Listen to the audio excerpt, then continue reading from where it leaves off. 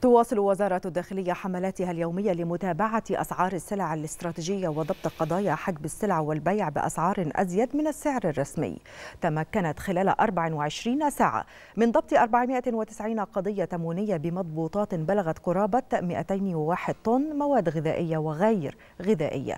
ففي مجالي حجب السلع الاستراتيجية والاستيلاء على السلع المدعومة تم ضبط قرابة 75 طن كما تم ضبط 10 أطنان أسمنت في مجال البيع بأزيد من السعر الرسمي لمواد البناء.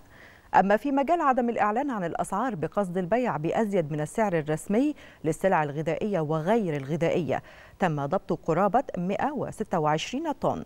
وفي مجال قضايا المخابز تم ضبط 718 قضية من بينها 127 قضية خبز ناقص الوزن و83 قضية خبز غير مطابق للمواصفات.